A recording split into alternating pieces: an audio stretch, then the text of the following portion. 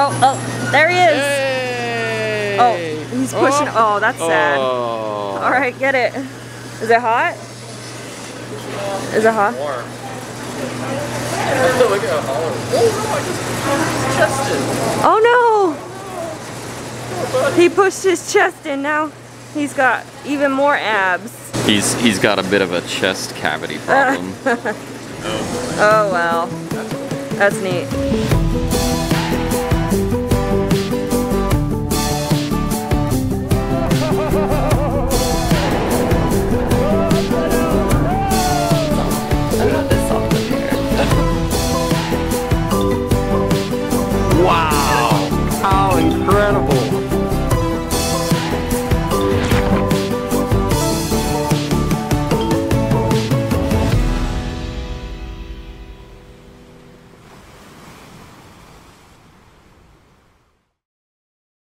Welcome to Universal Orlando Resort. It's been a while since we've been here. Yeah. Just got off our staycation and now we feel like we want a little bit of Universal in our lives. So unfortunately, Halloween Horror Nights was canceled this year due to the global situation that we're in. Uh, but they did open the Tribute Store at Universal Studios. So we're gonna go check that out uh, and get a little bit of flavor of Halloween Horror Nights. And Horror Nights Fog. Sure, and Horror Nights Fog. It has that distinct smell. Sure does. Anyway, if you're ready to go, check out the Tribute Store. Let's go. Ah, we have entered an empty Universal Studios. Yeah, we're not even in the park yet, and it already feels empty. Makes all the difference in the world coming on the weekday. Now, we have been seeing reports about it being super crowded at Universal, but that seems like it's only on the weekend because every time we come here on the weekday, it's pretty dead. And here we are in a very empty, very empty theme park Jen's got her pep in her step because she's heading to the tribute store. So there it is, the tribute store. It looks as though it's a complete, not walk-on attraction, but walk-in attraction. At first we're greeted with this decaying shrine. Oh, the, says that way, so we need to go that way.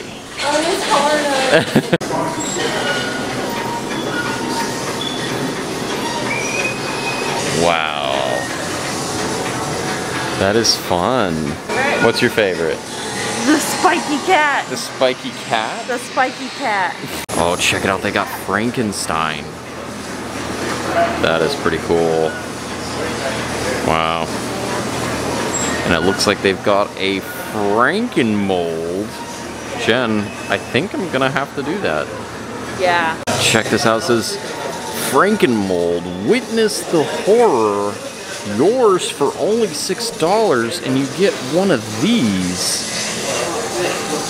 I know that this company operates the ones at Busch Gardens and I've seen those. I think I'm gonna I think I'm gonna get one.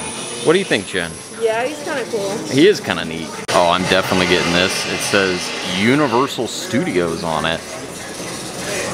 That's gonna be fun. Oh, there it goes.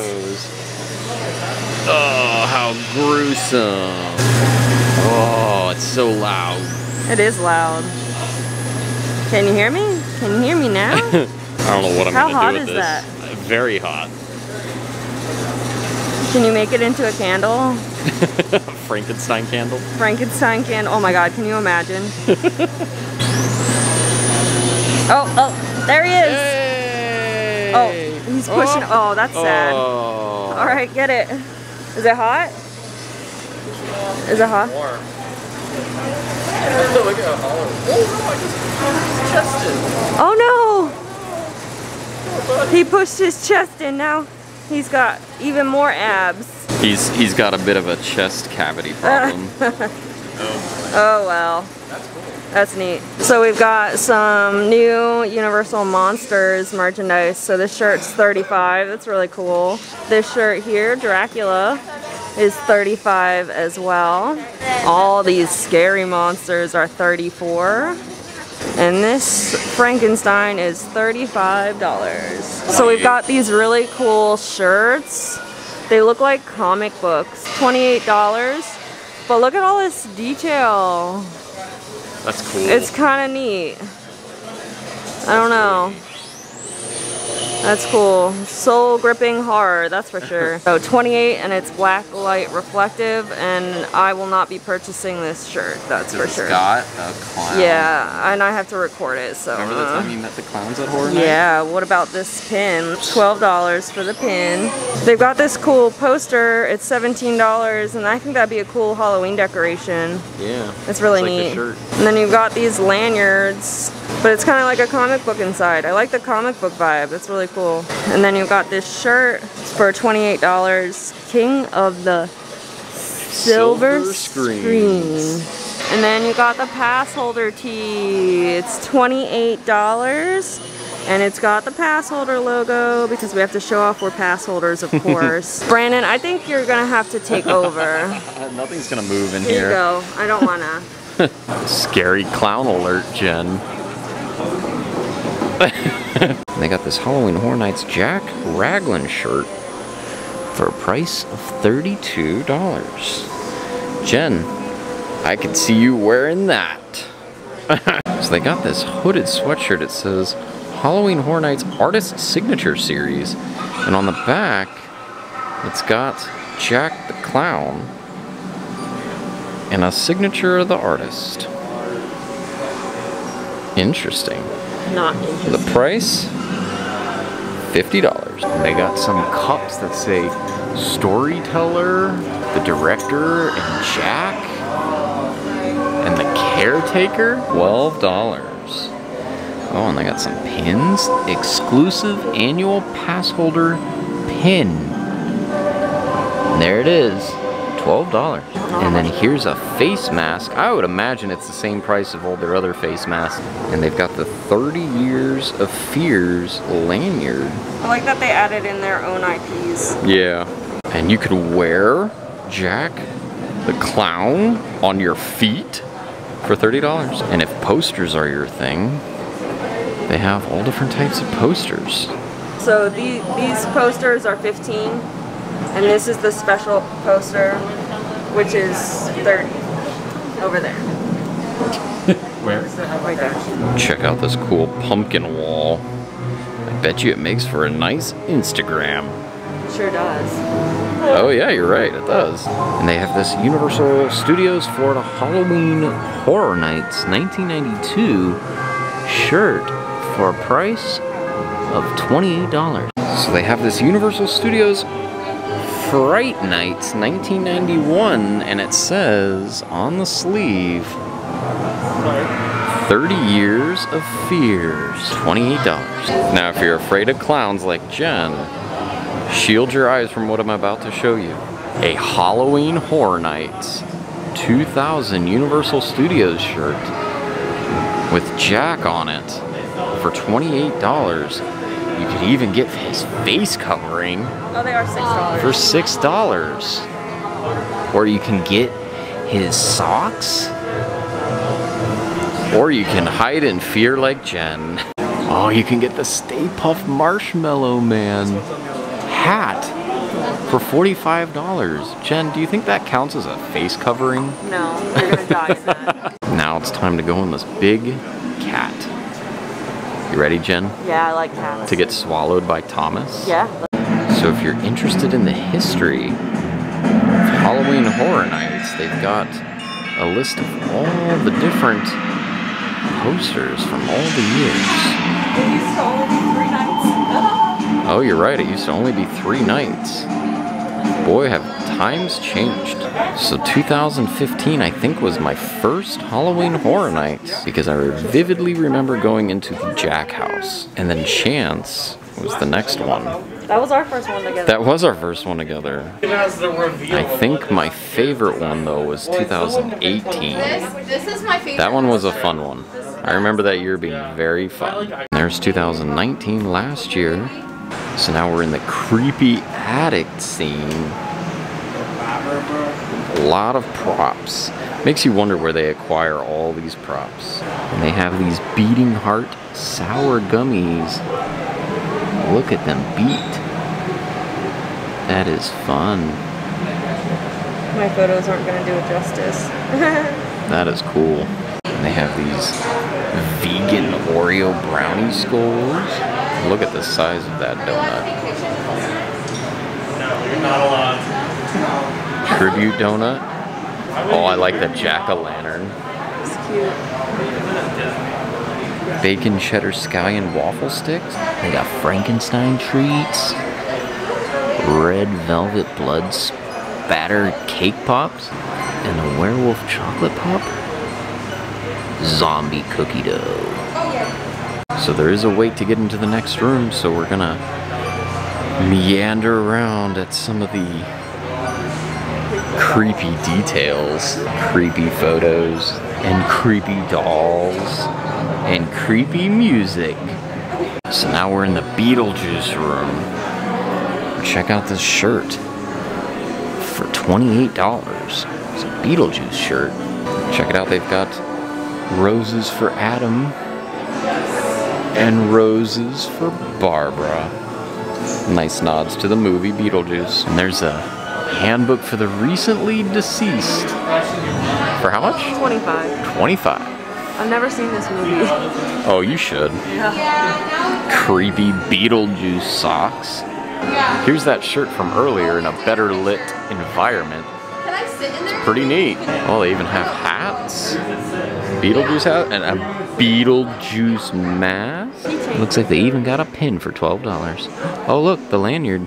That's pretty cool. Beetlejuice, Beetlejuice. Oh, I, I'm not gonna say it a third time. So there's a creepy Beetlejuice as a snake. I have to say, that was probably the scariest character in the entire movie. Oh, check out that creepy door with the green light radiating from it. Jen, you need to see Beetlejuice. yeah, don't open that door. And there is Adam and Barbara hanging from the rafters. That is pretty creepy. Ah, yes. The great ending to Beetlejuice. Okay, so we're back outside of the tribute store. Always fun to check up on Horror Nights merchandise. Check out how empty it is. Definitely come on the weekdays, guys. I've seen pictures of the weekends and it's a completely different atmosphere. Oh, they've got the jean jacket. This is Universal Studios for a price of $75. That's kind of cool. That's awesome. And it's embroidered on there, Yeah. as with a jean jacket. That's typically the case. That's pretty cool. Jen's gonna rock the jean jacket. That's kind of cool. You look pretty, pretty cool. what do you think? It's nice. Yeah. That's cool. That is cool. That is neat. So actually, I think Brandon's gonna get it. I like it too. It makes me feel like I'm a director on a movie set. Yeah. get off my movie set. Yes, get off my movie set. Chop chop. So it's good to know the pass holder lounge is open 11 to 4 only. So we are past 4 o'clock. So I got the denim jacket Yeah. with the Universal Marquee Retro logo. Because I like denim. I like denim jackets and I feel like a director when I wear them. So, okay. As we're leaving the park, we decided to grab a bite to eat at one of our favorite restaurants on Universal property, the NBC Sports Grill and Brew. Also, we decided to get some Voodoo Donuts, but that's for dessert. And we'll uh, we'll show you what we got. We got four donuts, but we'll show you what we got later after dinner. Gotta have dinner first. So, a bit of a change of plans. Uh, NBC Sports Grill was only serving appetizers, with their regular menu coming, I think, Sunday.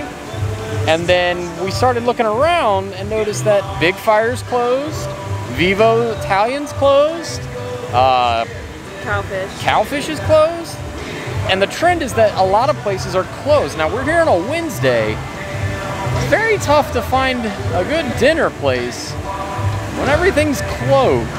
Yeah. So now we've got donuts and no dinner. I'm sure we'll find something. We could probably, maybe Margaritaville or Hard Rock's open. Yeah. Well, we'll go check those two Okay. and see. I'm really hungry. That's a bummer. So keep that in mind that check ahead to make sure that the restaurants are actually open if you plan eating at City Walk because uh, it almost seems like they've closed some restaurants or limited the hours since that's reopening. Yeah. That's a bummer.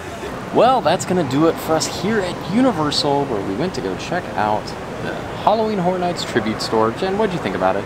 I miss Horror Nights. I know, but it's it's nice that they still offered something. it was a very faint fog smell. I don't think there was any fog in there. no, I thought there was. Uh, we also got some voodoo donuts. I think we're gonna share those on Instagram though. Yeah. Those seem to do really well. Us sharing what's inside the pink little box. Oh, there's my leftovers. Yeah, that's your leftovers from food. I know it was a short video today, but I think it was important that we made a trip down here just to show you some of the horror night stuff. Know not everyone's into horror and scariness, but uh, if you're a local resident, it, it's pretty fun to. It's kind of a part of the fall in It Orlando. is fall. If you like the video, be sure to give it a big thumbs up. It lets us know that you enjoyed today's content. And Jen, tell them what to do if they want to join our adventures. Make sure you hit that subscribe button and tap that notification bell to become a super subscriber. Until next time, See you real soon.